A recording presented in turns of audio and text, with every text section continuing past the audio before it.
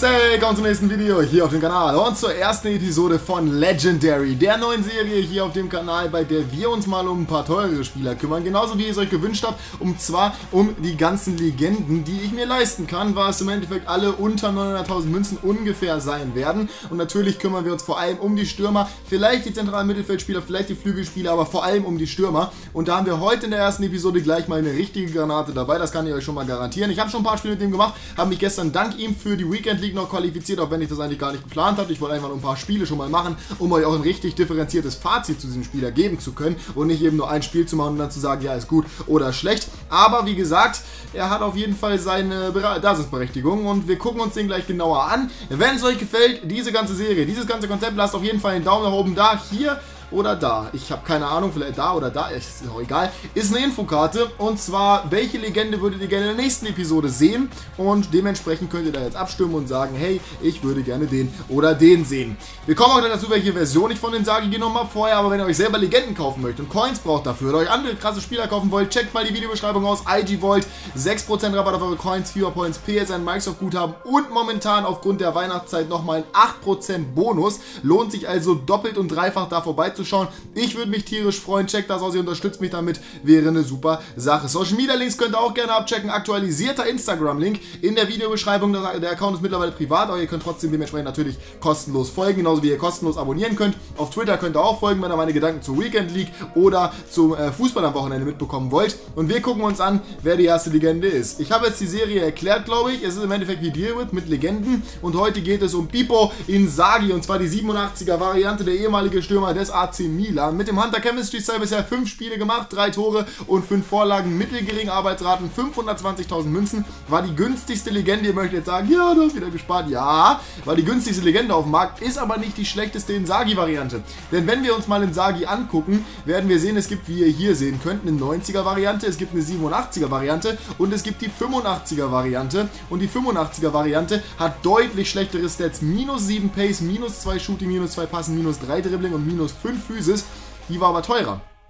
Warum auch immer, ich weiß es nicht. Nichtsdestotrotz, ich finde auf jeden Fall die 87er Karte deutlich interessanter und weil die 85er Karte auch teurer war, was ich gar nicht eingesehen habe, nehmen wir dementsprechend direkt die 87er. Es kann beispielsweise sein, dass wir bei einigen Spielern äh, nicht nur die beste Karte oder die Karte nehmen können, die ich mir leisten kann, sondern beispielsweise auch die 86er und 87er Karte. Dazu komme ich gleich mal, bei welchen Spielern das so sein könnte. Äh, ein Beispiel dafür ist halt eben nicht in Sagi, Sagi gibt es noch gar nicht als Prime-Version, guck mal an, sondern Shevchenko. Denn Shevchenko hat eine 88er und eine 86er Karte. Die 86er Karte hat 88 Tempo, 90, äh, 90 Shooting und 85 Dribbling, während die äh, 88er Karte schlechtere Card-Stats hat. Ich weiß nicht, ob die Stats auf der äh, Ingame-Stats auch schlechter sind, aber deutlich weniger Pace, ein mehr Shooting okay, aber ich glaube auch weniger Dribbling.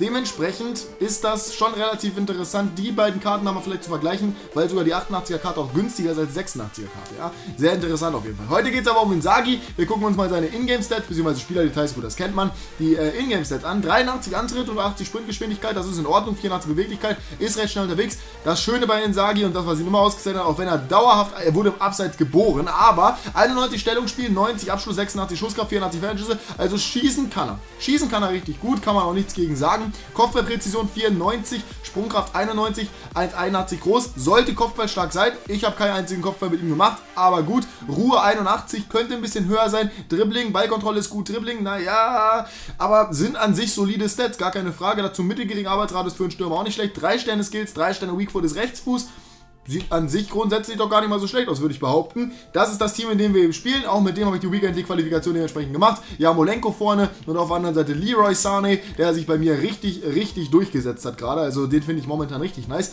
Ich suche mal einen Gegner mit diesem Team und dann sehen wir uns gleich wieder und schauen mal, was die Icon in Saki so machen kann.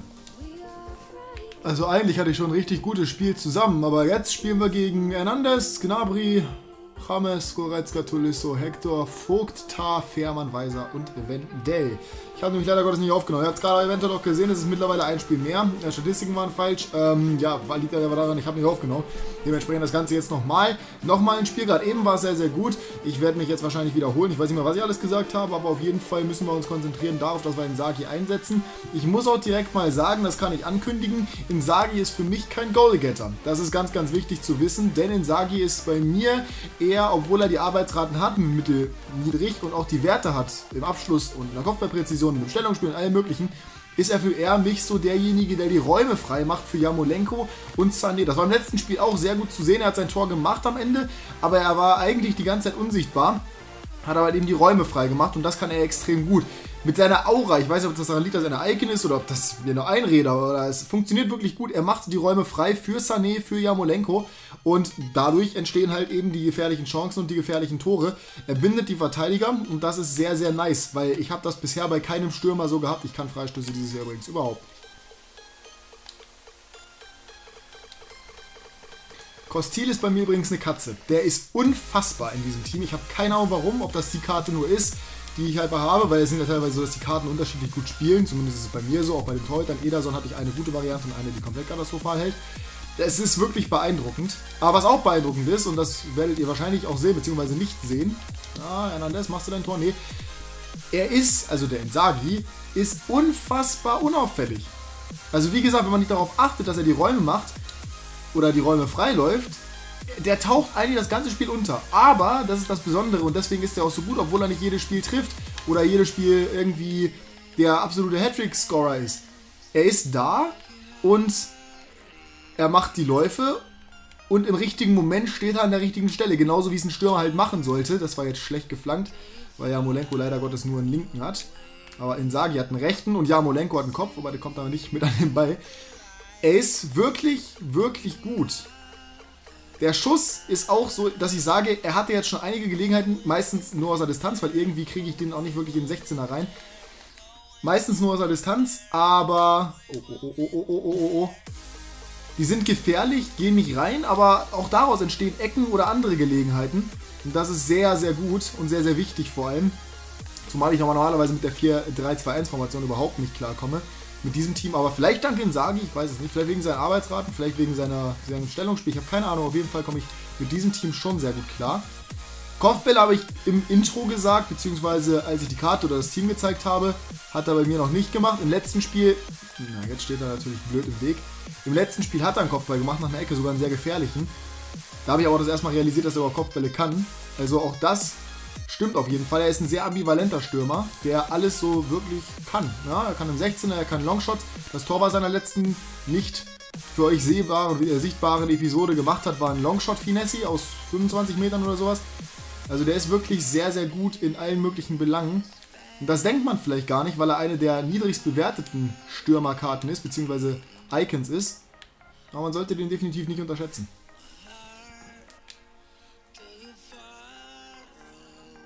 Sehr stark von Insagi, aber dann der Abschluss da. da oder stand er natürlich in einer ungünstigen Position, weil die Annahme nicht perfekt war. Aber trotzdem eine sehr schöne Situation grundsätzlich von unserer Stürmer-Icon. Mal sehen, ob wir den jetzt gleich wieder einsetzen können. Ja, auf dem rechten Flügel natürlich optimal, aber Kimmich, Kimmich, Kimmich, Kimmich. Flanke, Rückraum, Kedira, schade. Kimmich und äh, Asamoah übrigens in diesem Team. Ich weiß nicht warum. Normalerweise, auch das ist ein Grund, warum Insagi nicht so der mega Goalgetter ist. Ich schieße mit dem Team nicht viele Tore, aber ich stehe defensiv, auch wenn das jetzt gerade gegeneinander ein bisschen anders aussieht, sehr, sehr stark mit diesem Team.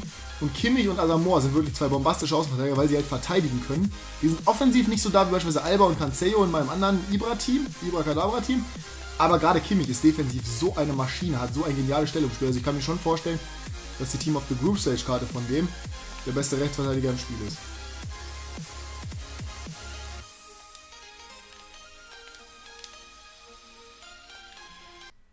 Das ist ein sehr bitteres Gegentor und ich weiß nicht, wer das war und ich weiß nicht, wie das Ding reinfliegen kann. Tolisso war es, glaube ich. Es war in meinen Augen vorher, ne, Gnabry. Es war in meinen Augen vorher ein Foul halt, ne? Der liegt ja, mein Spiel liegt ja nicht umsonst am Boden, aber, und das ist das große Problem in FIFA 18, Fouls abseits vom Ball werden nicht gepfiffen. Das ist voll der Schwachsinn. Schönes Tor trotzdem, keine Frage. Da ist Insagi, da ist der Kopfball, auch wenn er da natürlich keinen Gegenspieler hatte und den noch durchaus reinmachen kann. Mit 94 Kopfballpräzision sollte man das eigentlich erwarten können. Aber zumindest mal seine erste Abschlussaktion hier. Ne, die zweite. Hatte er ja schon einen Torschuss gerade. Aus einer ungünstigen Situation. Vielleicht jetzt der Longshot. Schöner Schuss. Aber ihr seht, die sind halt gefährlich. Gehen entweder zur Ecke oder halt, es kommt noch eine Flanke raus, aber sie sind halt nicht drin.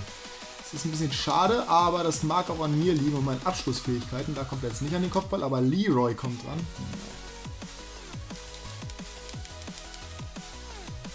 Wenn ihr übrigens selber schon mit Insagi gespielt habt, dann schreibt mir gerne mal eure Meinung zu der Karte in die Kommentare. Ich bin gespannt auf euer Feedback dazu.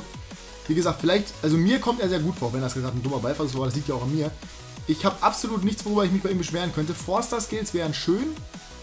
Und wie gesagt, ich schieße halt nicht so unfassbar viele Tore mit ihm, aber das schieße ich allgemein momentan nicht.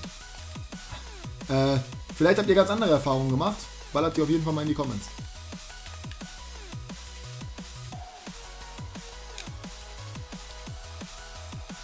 Flanke war so schön von Jamolenko. Aber leider, leider, leider nicht perfekt auf Insagi getimed. Ah, auch der Pass. Wir kriegen ihn gerade leider in diesem Spiel auch nicht eingesetzt.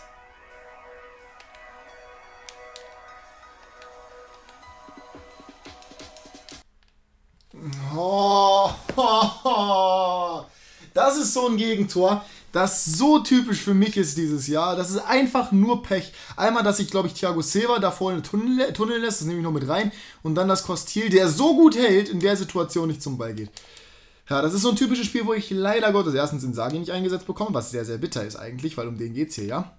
Und zweitens halt einfach kein Glück habe. Und das führt dazu, dass es schwer ist, hier irgendwas zu reißen. Er steht auch defensiv wie eine Wand. Das ist unglaublich. Keine Chance, da mal irgendwie durchzukommen. Jetzt Thiago und wieder.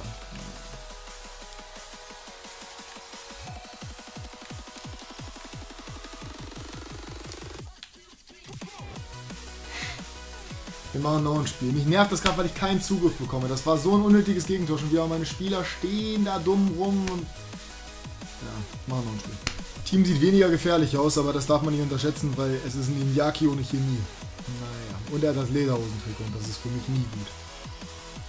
Es ist halt vor allem so ärgerlich, weil das erste Spiel, was ich gemacht habe, was ja dementsprechend dann nicht aufgenommen wurde, so gut lief. Es war ein wunderschönes Spiel, viele Szenen von Insagi, ein wunderschönes Tor von Insagi, alles, was man haben möchte. Und hier schießt er zumindest schon mal aufs Tor.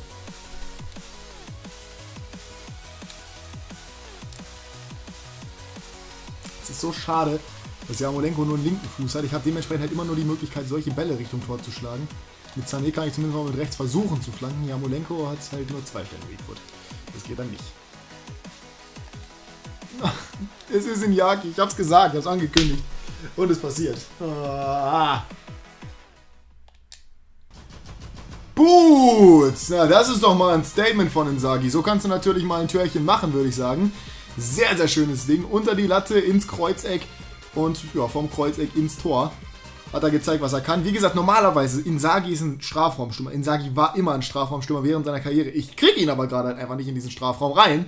Und dementsprechend müssen wir aus der Distanz abziehen. Und wenn dann sowas bei rumkommt, ist das natürlich auch sehr schön. Hat auch viel zu viel Platz, gar keine Frage. Trifft aber perfekt, ne? Ja, warum macht er da keinen Fallrückzieher? Ja, teilweise diese Engine, diese Engine, weißt du, Gnabry macht gerade ja, so, so ein Seitfallgedödel aus einer komischen Situation und macht den noch rein und Insagi will einfach gar keinen Fall. Da da, da hätte ich gehen können. Ich hatte Platz, warum mache ich das nicht? Insagi wird von Thiago auf die Reise geschickt. Insagi ist mal im 16er in Sagi und er hat halt 90 Abschluss. Er hat sie halt und er macht dann auch das Tor. Er macht den Doppelpack. Das erste Mal, dass Insagi bei mir in einem Spiel zweimal trifft. Und das hier. Wunderbar, oder?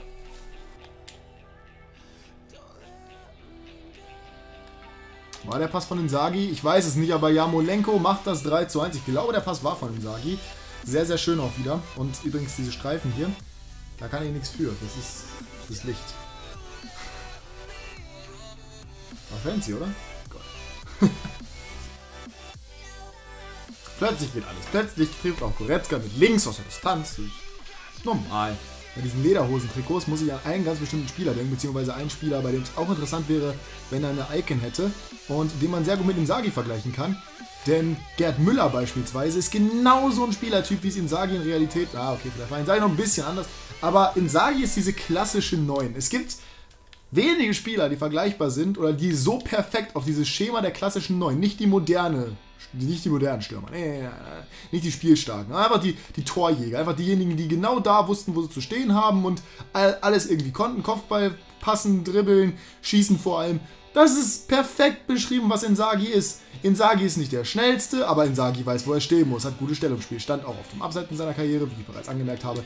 Aber nichtsdestotrotz sowas hier. Der, der steht da, der macht das Tor, das ist dem vollkommen egal, der schießt einfach und der trifft und der macht einen Hattrick das ist geil. Das macht Spaß. Auch wenn das vielleicht nicht modern ist und wenn das nicht mit jedem Spielstil und jeder Formation übereinpasst, aber für das Team ist Insagi wirklich richtig gut. Dafür kriegt Thiago und jetzt quittet er, toll. Ich wollte mit Thiago gar nicht grätschen. Das war gar nicht geplant. Ich wollte mit einem anderen Spieler grätschen. Aber okay. Insagi 10,0. Das Ding ist, ich würde den normalerweise benchmarken. Es wird auch Benchmark geben in dieser Legendary-Serie. Das Problem ist jetzt nur, wir haben noch keinen Vergleich. Das heißt, wir können erst auf der nächsten Episode benchmarken. Grundsätzlich ist Insagi ein Superstürmer. Wer weiß, vielleicht ist der nächste viel, viel besser, viel, viel schlechter. Dann brauchen wir halt eben den Raum und dann kann ich Insagi einordnen mit einem Rating, weil ich halt auch einfach keinen Vergleich habe, was ein Stürmer bei den Icons angeht. Nichtsdestotrotz, ich habe alles erzählt, denke ich mal. Ein geiler Stürmer, guter Arbeitsraten, guter Schuss, gutes Dribbling. Alles, was man braucht braucht. Die Skills fehlen ein bisschen, aber ansonsten wirklich Picobello kann man absolut nichts gegen sagen. Das war's von dieser ersten Episode von Legendary mit ein bisschen Fails. Ich hoffe, euch hat's gefallen. Wenn ja, lasst einen Daumen nach oben da. Checkt die Links in der Beschreibung gerade zu IG Vault. 8% Bonus sollte man sich nicht entgehen lassen. Ich wünsche euch noch einen wunderschönen Tag. Passt auf euch auf, bis dann, macht's gut. Haut